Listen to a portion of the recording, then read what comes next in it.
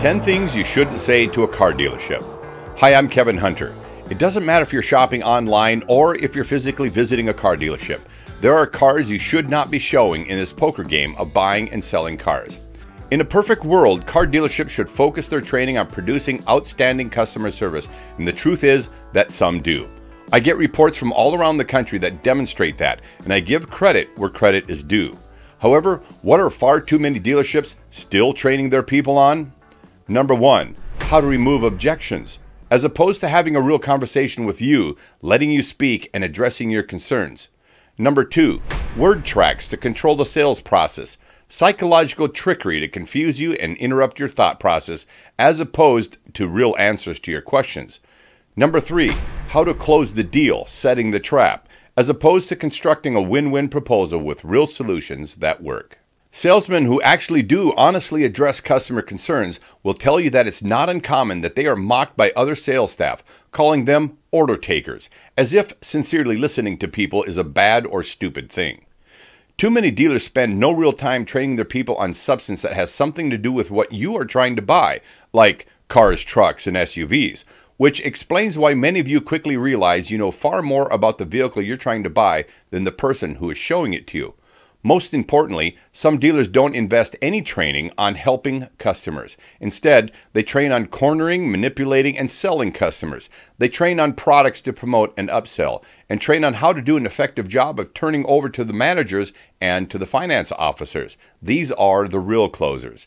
This is what is otherwise known as the tired old predatory sales model that seeks its next victim. Before we get rolling, if this is your first time here, you might consider subscribing to the channel. And if you have a specific question you'd like a direct answer on, do me a favor. Use hashtag the homework guy in your question or comment and put it in the comment section below. Or email me at info at thehomeworkguy.com. I try to get back to as many people as I can, and I have help from staff checking in on your comments and emails too. I also do free car contract reviews. Just black out any personal information and send me a copy. I'll be happy to tell you what can be fixed, changed, or canceled. All right, there's only one reason I'm hitting this topic today, and it's because I want to help you, the car buyer, stay in the driver's seat and in control of your own car deal. Yes, you could say some of this stuff will have little consequence, and sometimes it will, but being aware will help you stay in control and understand how you're giving up some of that control during the car deal. In response to this video, I fully expect that there will be dealership employees commenting below with, Hey, I got an idea. Don't contact us and don't show up at our store if you're not ready to buy today. As if doing homework and taking your time on the second largest buying decision most of us ever make is something stupid people do. Well, just ignore that nonsense. If you agree it's a lot smarter to drive a few cars, collect information, and then take a day or two to think about it, then stay tuned.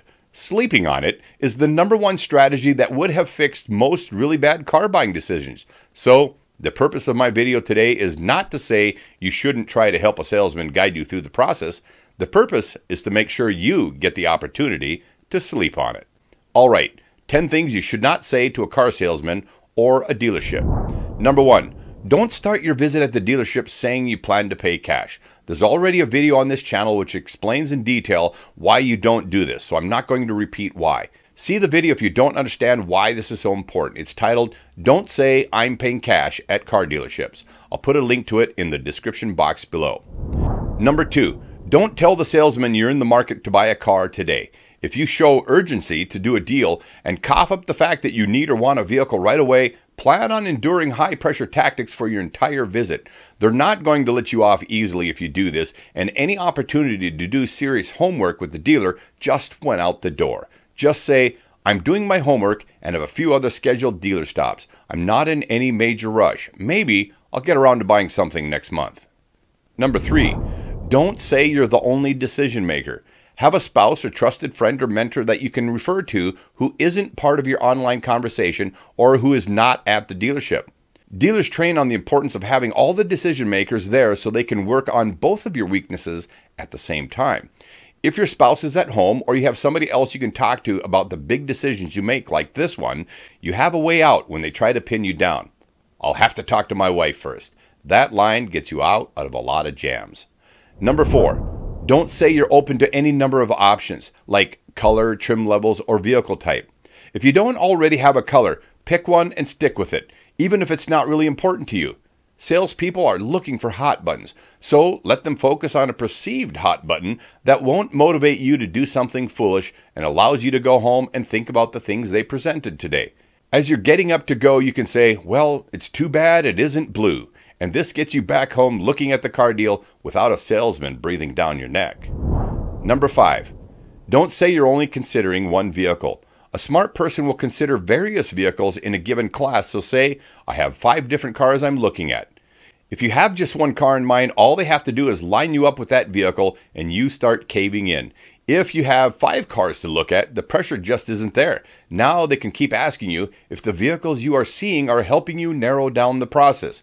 When the day is done, you're going to go home and have a proper comparison before deciding what you're going to buy. Number six, budget. Don't give them a payment goal. They train on it, so you won't hear the end of it. Besides, payments and loan terms are easily manipulated to make a deal work for you, and quite often, that deal isn't a deal at all for you. This is probably one of the biggest mistakes anyone makes when car shopping. Psychologically, you are beaten the minute they get you to start thinking about decisions on car payments, and financially, you're about to shoot yourself in the foot. Don't let that happen to you.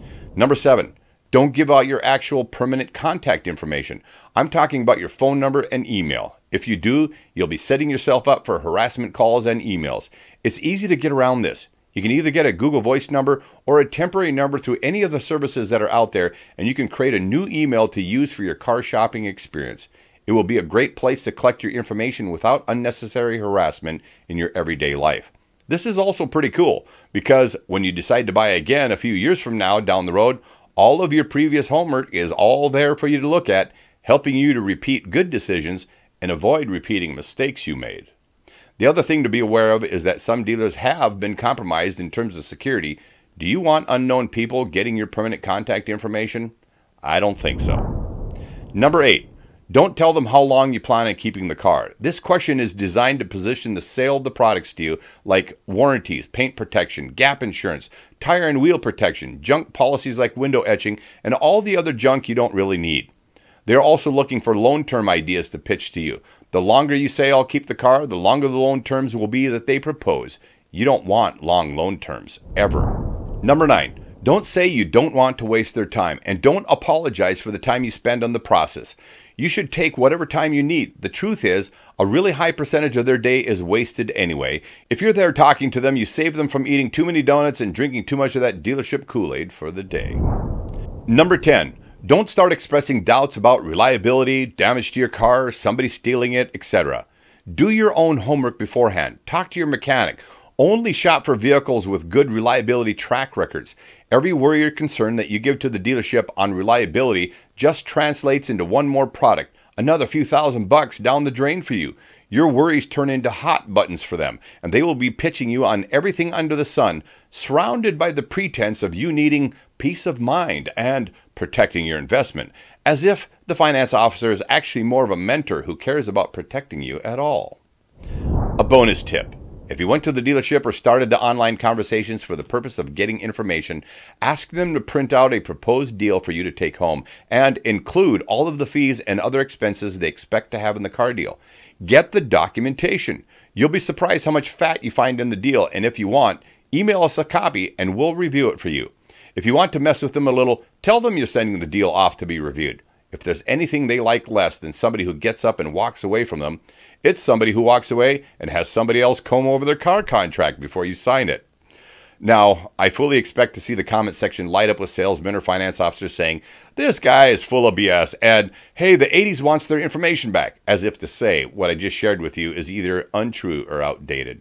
They always use these tired old lines, they never come up with anything new. I'm recommending that you be your own judge of the validity of the information I just shared. If you've been shopping online recently or you've been visiting a dealership, don't be surprised when you encounter some or all of the things I mentioned today and suddenly realize you've committed some of the mistakes I said you need to avoid. If your car buying process was ever cut short and you pulled the trigger on a bad car deal prematurely, you definitely made one of these mistakes.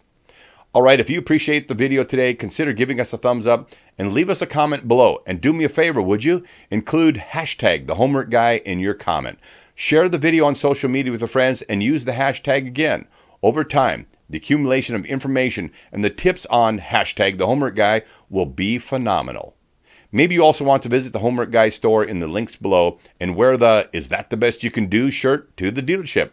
And for those of you who want to say thanks for the tip, I'll leave the PayPal link in the description box below. I've helped millions of car buyers with videos and free contract reviews, and we hope to meet you in your city someday in the future ahead.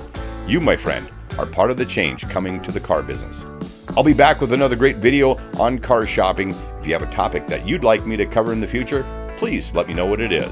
Thanks again, everyone, for coming back. I'm off now to enjoy a little leisure time with the family. I'm Kevin Hunter. Until next time, take care, everyone.